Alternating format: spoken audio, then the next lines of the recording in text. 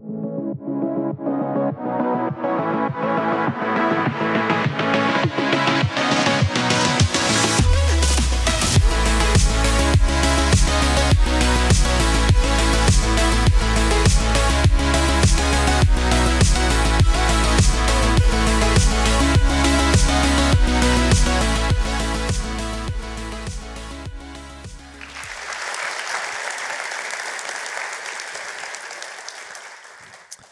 Merci, eh bien c'est parti.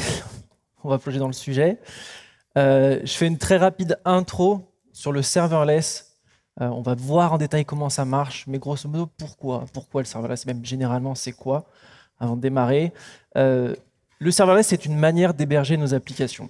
C'est une alternative à faire tourner nos applications sur des serveurs, ou utiliser des conteneurs qui tournent sur des serveurs, ou utiliser des passes, ou utiliser du Kubernetes, ces choses-là. Serverless, c'est juste une alternative, c'est une manière différente d'héberger les applications. Et qu'est-ce qu'on y retrouve euh, à utiliser du serverless? Bon, plein de choses, mais grosso modo, deux avantages principaux. La scalabilité, parce que ça va être le cloud provider qu'on utilise qui va s'occuper de scaler nos applications. On va voir aussi un petit peu euh, comment. Et la simplicité, euh, dans le sens où on va déléguer beaucoup de choses au cloud provider et on va avoir une solution on peut faire du scalable et du robuste et du euh, redondant dans plein de plein d'autres manières, hein, mais le serverless va être une alternative qui va généralement être un peu plus simple. Alors je vais parler malheureusement que de ce que je connais, c'est-à-dire du serverless sur AWS. On peut en faire euh, sur d'autres technologies, sur d'autres cloud providers, c'est sûr. mais aujourd'hui, je vais parler de AWS et plus précisément AWS Lambda pour exécuter le code en serverless. Et je vais vous parler de Bref, et on va voir comment Bref fonctionne. Pour faire du serverless sur AWS Lambda, on peut utiliser Bref ou on peut utiliser Laravel Vapor. Faire les choses soi-même, très honnêtement, euh, ne le faites pas. C'est très, enfin, très compliqué, c'est très vite euh, compliqué. En tout cas, Laravel Vapor et Bref ont la même origine. Donc ce que je vais présenter ici s'applique grosso modo aux deux. Et je suis très content de revenir euh, parler de Bref au forum. Bref, c'est un projet open source que j'ai créé, que j'ai commencé il y a six ans maintenant, et dont j'avais présenté les premières versions expérimentales au Forum PHP 2018. Alors, je ne sais pas s'il y en avait qui étaient dans cette conférence et qui l'avaient vu à l'époque. Quelques mains levées, c'est cool. Donc, je suis très content de revenir cinq ans après et, de vous présenter un peu euh, alors, comment ça fonctionne, mais où le projet en est aussi. Aujourd'hui, le projet a grossi. Euh, à l'époque, c'était très expérimental, comme je vous disais. Aujourd'hui, on est sur euh, presque 150 contributeurs au projet open source. Euh, plus de 21 000 fonctions Amazon Lambda, donc les fonctions, euh, c'est ce qu'on déploie sur AWS Lambda, c'est comme des applications, peu importe le nom. 21 000 à travers tous les gens qui utilisent Bref. Plus de 100 000 déploiements chaque mois qui sont faits avec Bref. Et on a passé récemment le cap des 13 milliards d'invocations par mois, c'est-à-dire des requêtes, des jobs, des crons, des... Euh, peu importe. Chaque mois. Donc aujourd'hui, grosse nouvelle, le serverless, ce n'est plus très hype, ce n'est plus très nouveau, c'est vieux, ennuyeux, parce que ça marche. Et donc c'est utilisé en prod à l'échelle à, travers euh, pas mal d'entreprises. Euh, et on va, on va voir un peu le comment ça marche. Mais avant de plonger dans le comment, je voulais vraiment vous avertir, attention, on va voir des trucs inutiles. Et oui, l'idée du serverless, et surtout de bref, c'est de simplifier les choses. Euh, donc pas besoin de comprendre comment ça marche pour l'utiliser. Mais le serverless, parfois, c'est nébuleux, ça fait peur, ou en tout cas, ça n'inspire pas confiance. C'est pour ça que j'ai voulu faire cette conf. Avant de démarrer, comment est-ce qu'on utilise Bref Pour vous montrer que c'est simple? Alors, j'ai pris bien sûr l'exemple le plus simple possible, parce que déjà, ça rentre dans un slide, et puis parce que ce n'est pas, pas le sujet de ce talk.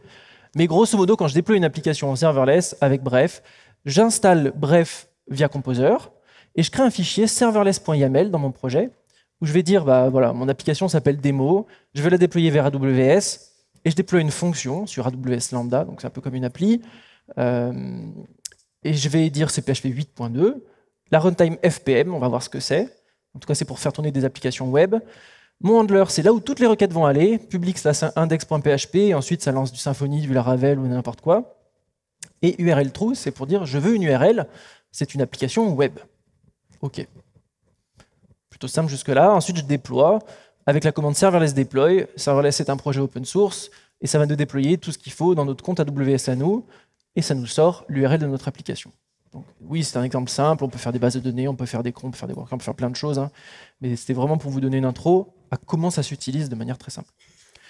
Donc ce que je vous propose maintenant, c'est de rentrer dans le détail euh, comment ça tourne. Et donc j'ai créé une petite démo. Et c'est là un peu le moment de vérité, j'espère que ça va bien marcher. Donc j'ai créé une petite démo, euh, j'ai déployé une application serverless PHP, euh, bref, et c'est une, une, page web. Donc je vais vous inviter à prendre votre téléphone et à ouvrir cette page web, et on va voir à l'écran l'application scalée. Première chose, on voit qu'à l'écran il n'y a rien. J'ai déployé mon appli, elle ne tourne pas, à la différence d'un serveur qui a démarré, euh, qu'on pourrait voir. Euh, non, sur Lambda, les choses démarrent à la volée. Donc, voici un QR code. Vous pouvez aussi taper l'URL, j'essaie de la rendre la plus simple possible à taper, et on devrait voir à l'écran euh, comment l'application scale? Je croise les doigts, j'ai mon cœur qui bat très très fort. L'application devrait mettre un petit moment à se charger. Ok, ça ne se charge pas. L'application devrait un moment à se charger sur vos téléphones. Pourquoi? C'est parce que j'ai mis un slip pour que les choses se passent bien. Alors je vais tenter un truc. Un petit F5. Voilà. Je vous rassure, ça s'est lancé sur mon écran. Je vais le remettre. Deux petites secondes. Voilà. J'arrive. Voilà. Donc, n'hésitez pas à. Euh, y a un petit. Alors, sur la page web, j'ai mis un petit sondage. Il y a deux questions. Si vous voulez bien le remplir, c'est super sympa. Je vais afficher les résultats juste après. Il y a un petit emoji aussi en bas à droite. Oh, j'ai un petit bug. Parce que le vert, c'est quand le code tourne et ça, c'est pas, pas censé arriver. Peu importe, ignorez mon bug. Désolé. C'est une démo. Il y a un petit emoji en bas à droite. Vous pouvez le cliquer et ça va envoyer euh, voilà, des tonnes de requêtes. Donc, vous pouvez bourriner le petit emoji. Je crois que c'est le Wi-Fi qui fait que mes événements, ils n'arrivent pas, au top. Bon, vous m'excusez sur les détails. Ce qui est important de voir ici, c'est que euh, les, on a différentes choses. On a du bleu ou du vert, hein, c'est quand notre code tourne. Normalement, c'est des toutes petites barres. Et on a du gris, c'est nos instances AWS Lambda. Et on voit que ça scale, je vais dézoomer un poil, voilà.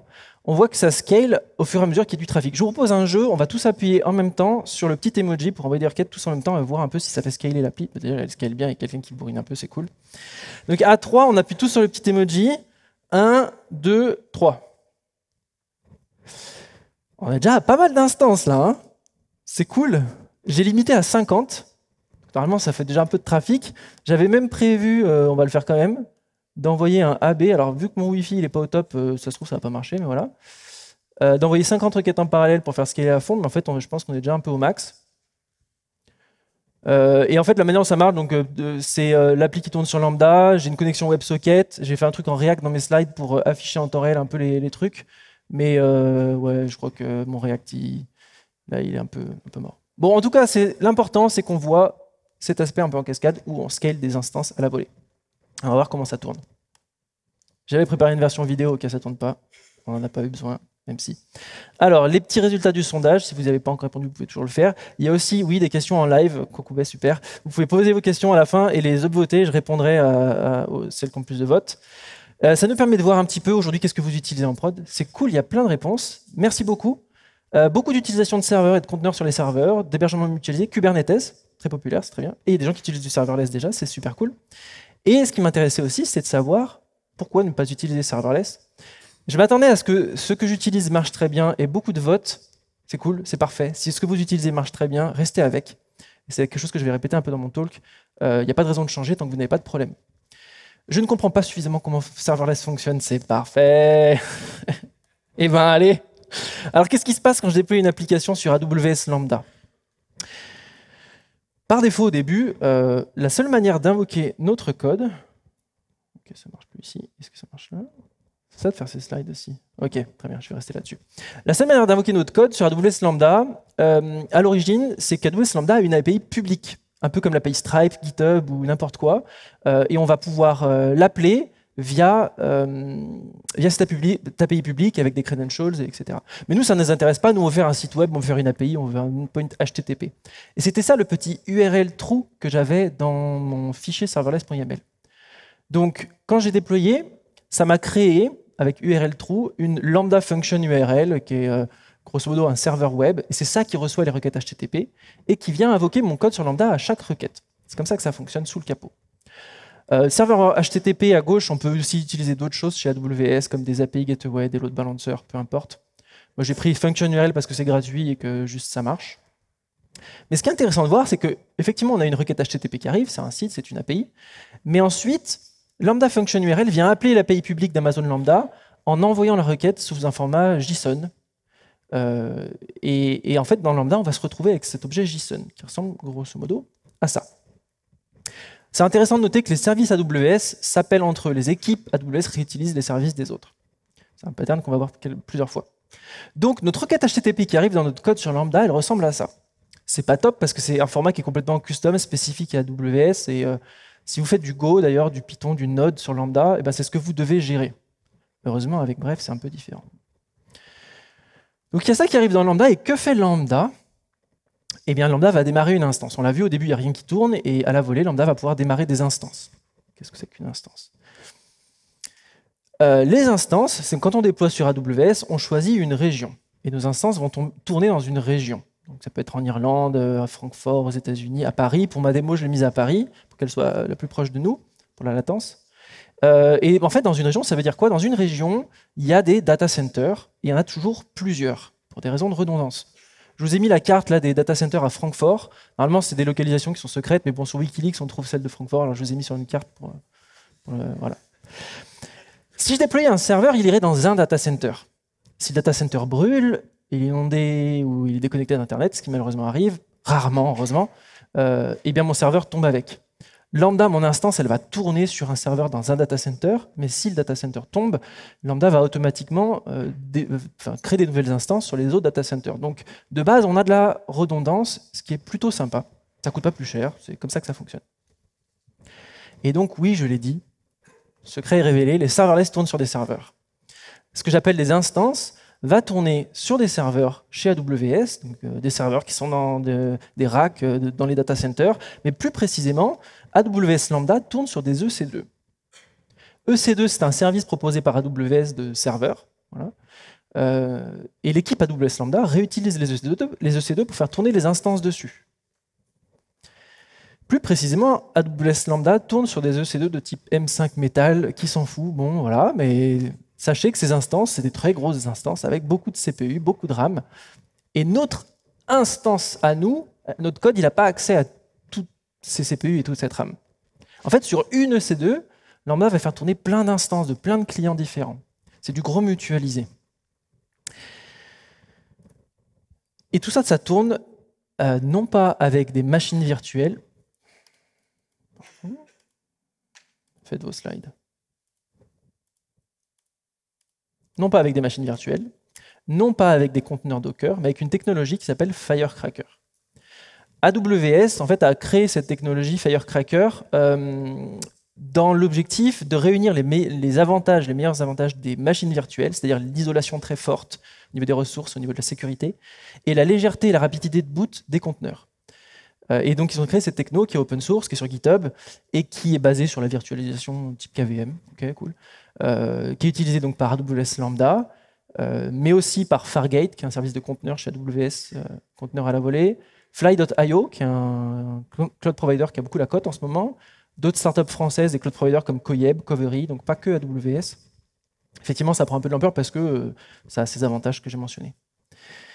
Et donc ça démarre une instance, ce qu'on appelle des micro-VM, je vais appeler ça instance, c'est le nom officiel, euh, qu'on pourrait appeler conteneur entre nous. Hein.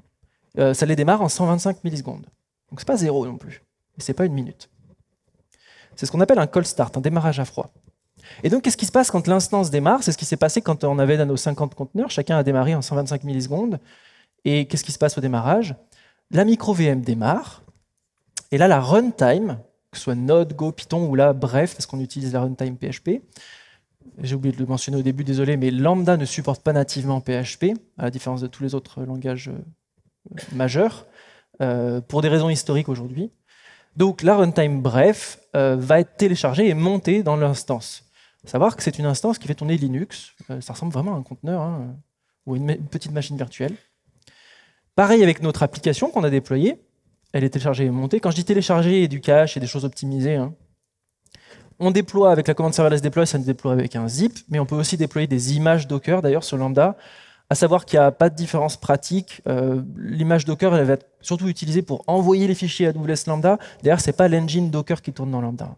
Mais c'est pratique si on utilise déjà Docker dans l'entreprise. Pourquoi pas. Et enfin, vient démarrer la Runtime API.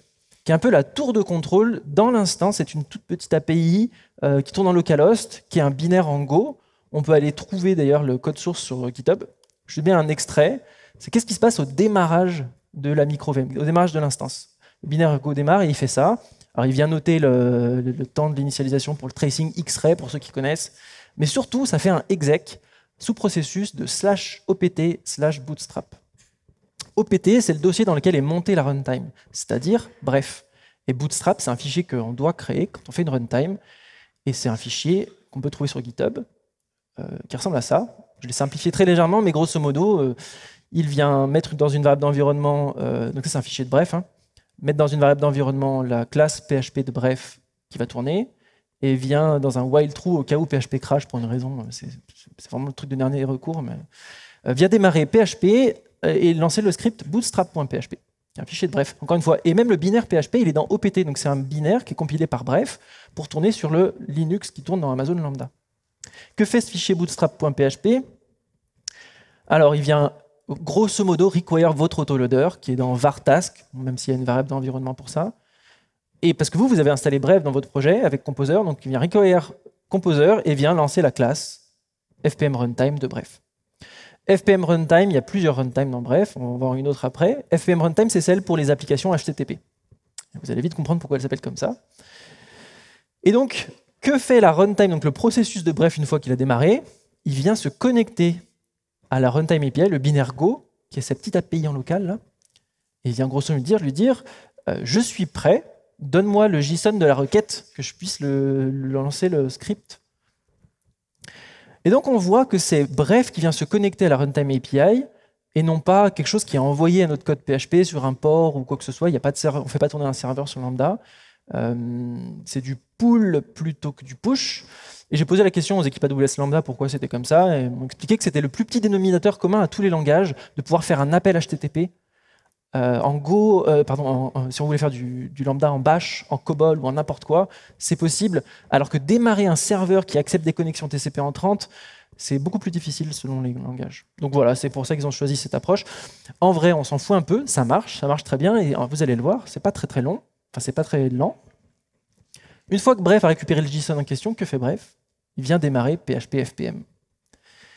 PHP FPM, c'est le binaire officiel distribué par PHP qui tourne peut-être là sur la majorité de vos serveurs. On utilise généralement Apache ou Nginx qui reçoit les requêtes HTTP et ensuite PHP FPM pour faire tourner notre code. Euh, eh bien, c'est exactement ce qui tourne dans Lambda. Et donc, bref, convertit le JSON un peu bizarre au format normal FastCGI, c'est le c'est le protocole que parle PHP FPM.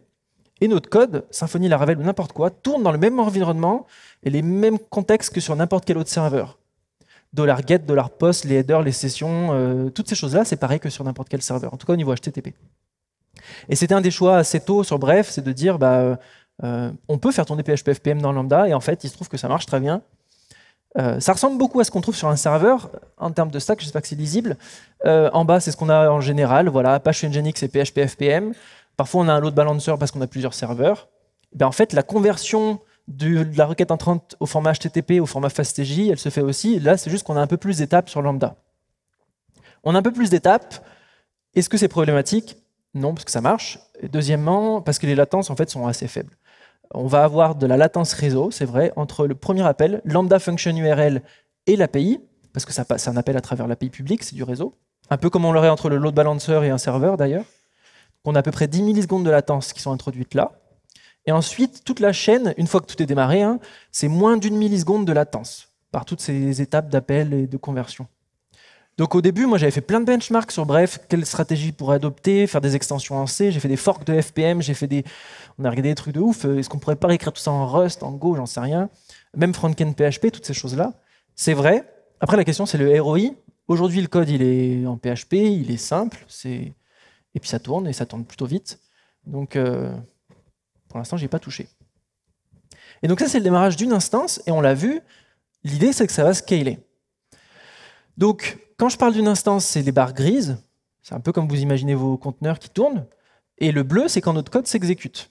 Normalement, ça devait ressembler plutôt à ça, c'était des petites barres bleues.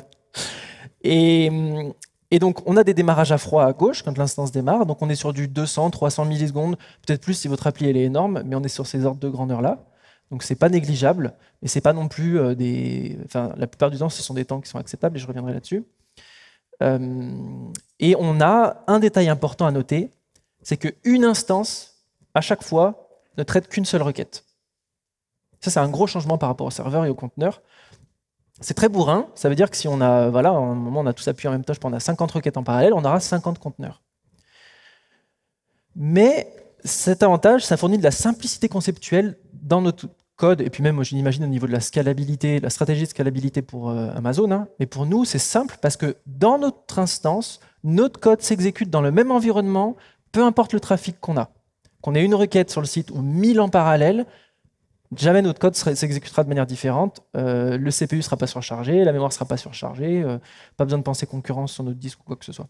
Alors bien sûr, si vous avez une base de données derrière, il faut qu'elle supporte le trafic, il faut que toute la chaîne euh, soit cohérente. Hein. Mais en tout cas, au niveau de l'exécution de notre code, ça se passe plutôt bien. Et donc les, temps de démarrage à froid, je disais, euh, c'est ce qui se passe au début, une fois que les conteneurs ou les instances sont chaudes, elles sont réutilisées. Euh, elles sont réutilisées, donc là, il n'y a, aucune latence supplémentaire. Comment ça se traduit au niveau des coûts? Au niveau des coûts, on va payer grosso modo, on va payer pour la partie bleue on paye au temps d'exécution de notre code. Euh, donc, on pourrait avoir 1000 instances qui sont là, on ne paye pas pour la partie grise. Qu'on ait une instance qui traite 1000 requêtes les unes à la suite, tranquillement, ou qu'on ait 1000 requêtes d'un coup, donc 1000 instances, scalabilité de ouf, on paye la même chose, on paye 1000 requêtes. Ça, c'est plutôt intéressant.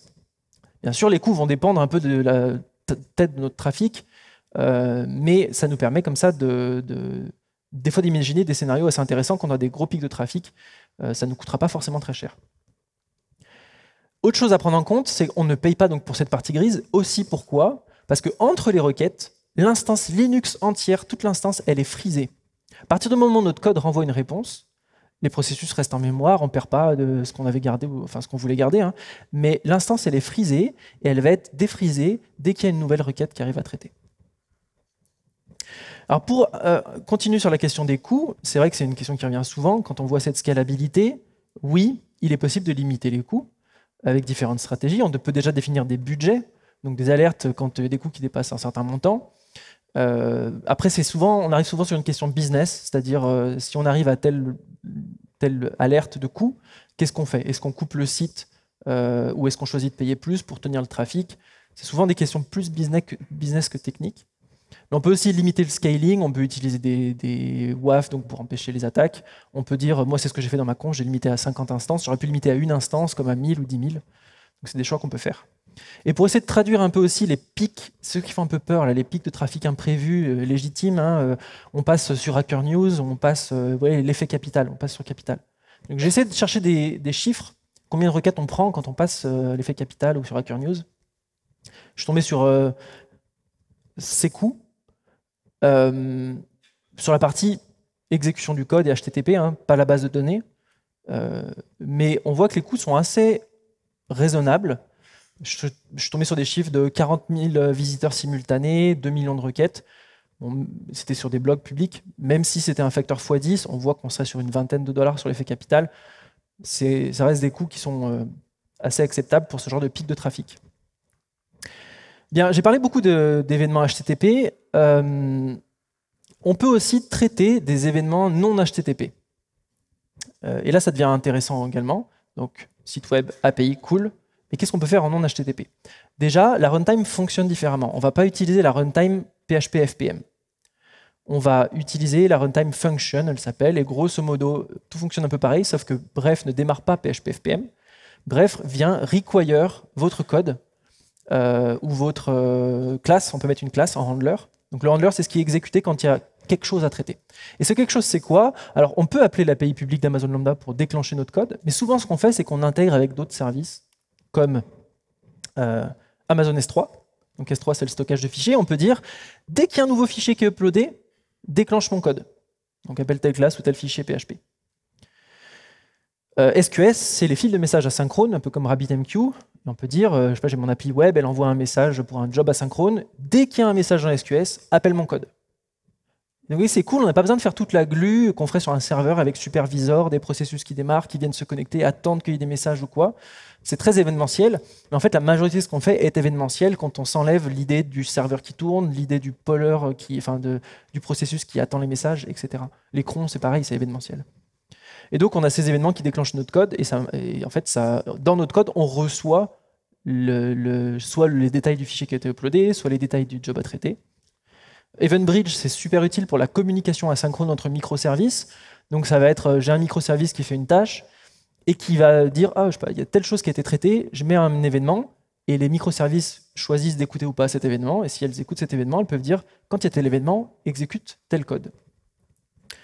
Voilà, c'est toujours ce même pattern, euh, on vient euh, souscrire à des événements déclenchés par d'autres services AWS. À quoi ça ressemble au niveau du code? Bref, fournit des classes de base, euh, classes abstraites qu'on peut étendre, et on va avoir euh, de l'autocomplétion et des événements typés qui arrivent, non pas un JSON euh, un peu bizarre, mais vraiment un événement typé. Là, je prends l'exemple S3, où on va récupérer dans l'événement qui nous a déclenché eh ben, le nom du bucket et le nom du fichier qui vient d'être téléchargé, par exemple. SQS, c'est un peu pareil. On va avoir un événement SQS on va récupérer, en anglais c'est euh, un for each parce qu'il peut y en avoir plusieurs, on peut configurer un peu notre, ce qu'on appelle le batching, et, donc ensuite on peut traiter notre job.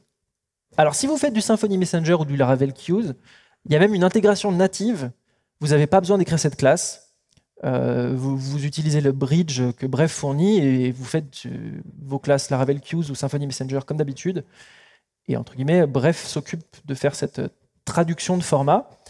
Parce que c'est vrai que quand on voit ça, on se dit ah mais je vais coupler mon code aux événements AWS. C'est vrai, on va se coupler à bref, c'est vrai. Hein.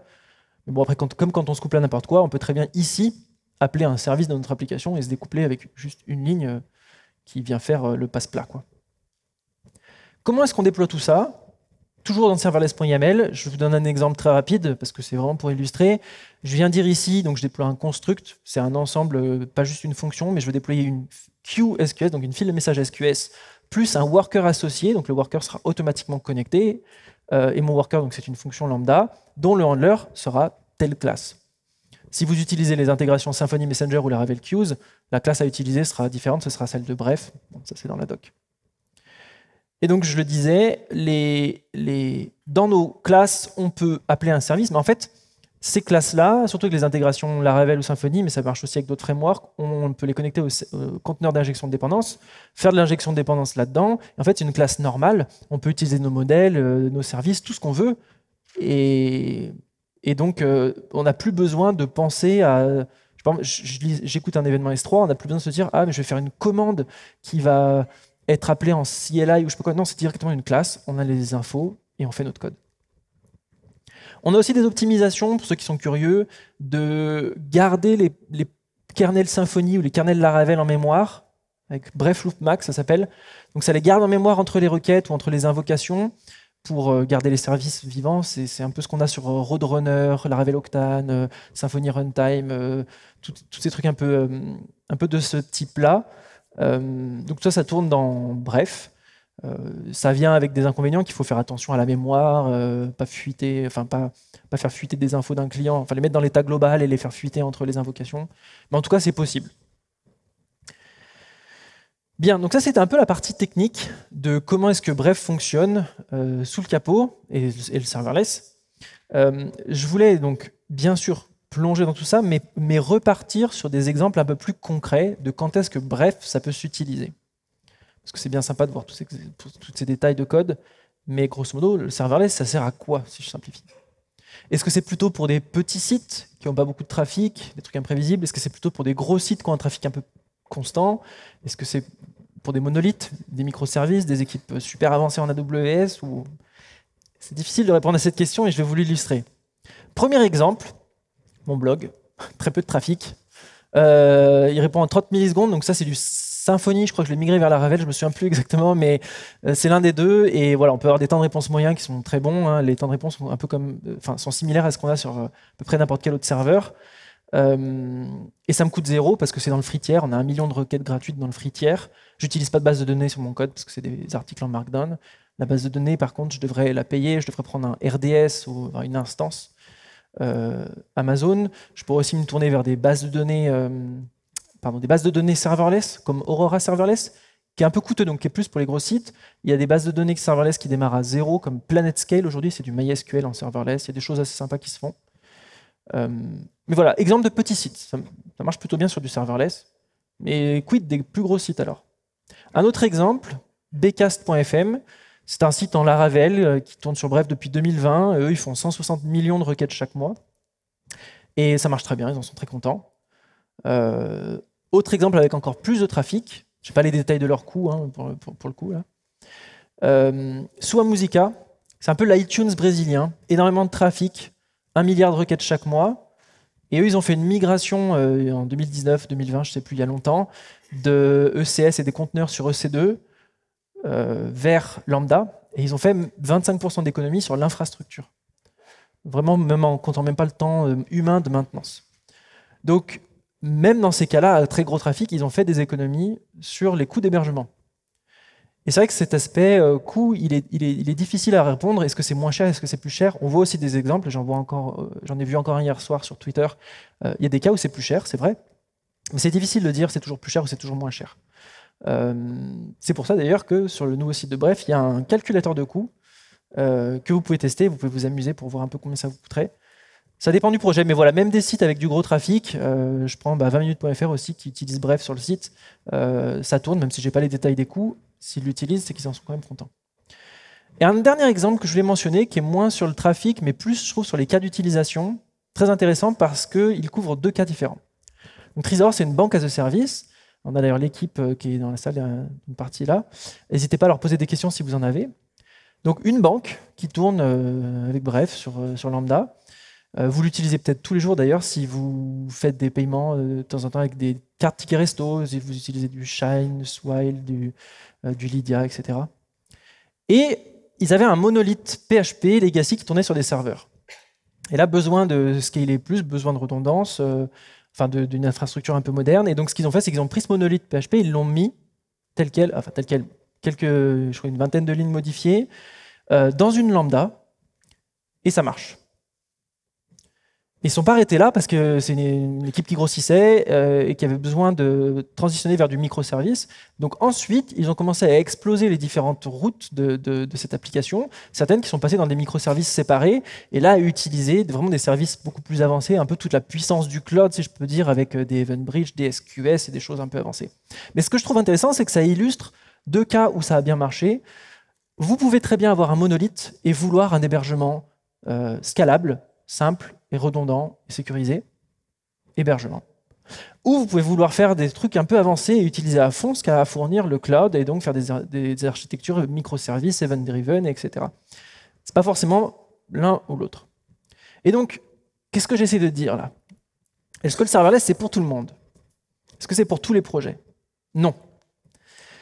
Je sais rien de vous vendre. Euh, grosso modo, on se souvient de la, question que j'avais posée au début, il y a des gens qui sont très contents de leur infrastructure aujourd'hui. Vous n'avez aucune raison de changer. C'est aussi simple que ça. Deuxième catégorie, de la population, et en fait, c'est vrai que je regarde surtout moins les projets, mais plus les équipes. Deuxième type d'équipe, de, de personnes, c'est des gens qui sont à l'aise avec faire du DevOps ou faire de l'admin 6. J'ai très bons amis qui font ça, et ils sont très contents et le serverless ne résout pas un problème pour eux. Donc, si, si c'est comme ça que les équipes tournent aujourd'hui et que vous en êtes très content, continuez. Je trouve que le serverless s'adresse plutôt à une troisième catégorie de la population, dont je fais partie personnellement, où le serverless arrive à un moment où on a un certain hébergement qui fonctionne, mais on a des limites. Soit on veut scaler plus, soit on n'a pas encore de redondance et on veut commencer à en mettre, soit on a besoin de faire une migration vers le cloud pour, euh, plus avoir à gérer des choses bas niveau. Bref, on veut changer, il y a quelque chose qui ne va pas, on veut changer.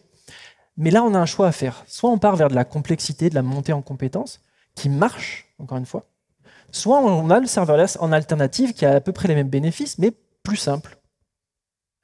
Et c'est là où je trouve que le serverless devient intéressant, c'est qu'on a, une alternative plus simple pour ceux qui le veulent. Euh, il y a un cas aussi que je n'ai pas mentionné, parce que j'ai mentionné les call start, et c'est vrai que c'est souvent un truc qui reste en mémoire. Euh, on parlait des coûts, on parlait des call start. Les call start, euh, font aussi que le serverless n'est pas adapté à certains cas d'utilisation, typiquement le temps réel, où il est inacceptable qu'une requête fasse plus de je sais pas, 10 millisecondes, 100 millisecondes, euh, même si c'est 1% du temps. Ça, c'est vrai, ça existe, et dans ce cas-là, le lambda ne conviendra pas. Euh, mais il y a une majorité de projets où ces call start arrivent de manière, en général, en production, on les a 0,5% du temps. 0,5% du temps, sans compter les optimisations que d'ailleurs euh, Amazon sort. Là, récemment, ils ont sorti une optimisation où ils démarrent des conteneurs en avance sans que vous ayez à les payer, enfin des instances, ce qui est assez intéressant. Je n'ai pas encore les chiffres sur l'impact. Euh, on peut aussi payer pour éviter les call start. Mais toujours est-il que euh, dans la majorité des applications et des sites web, ce genre de latence, en pratique, n'est pas du tout un problème. Encore une fois, ça dépend des projets, bien sûr. Donc, si vous voulez explorer le sujet plus en détail, je vous invite à faire un tour sur bref.sh. Je suis en plus très très content de partager avec vous que j'ai lancé euh, hier une nouvelle version du site dans le train pour venir au forum. Euh, nouvelle version du site avec une nouvelle documentation, notamment si vous faites du Symfony ou du Laravel, il y a des toutes nouvelles docs pour euh, démarrer facilement. et plein de détails sur les différents cas d'utilisation si vous voulez faire de l'HTTP, mais aussi des jobs, de l'event-driven, toutes ces choses-là.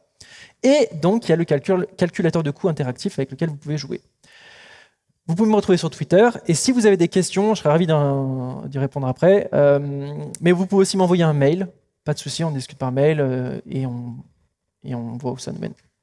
Merci beaucoup pour votre attention.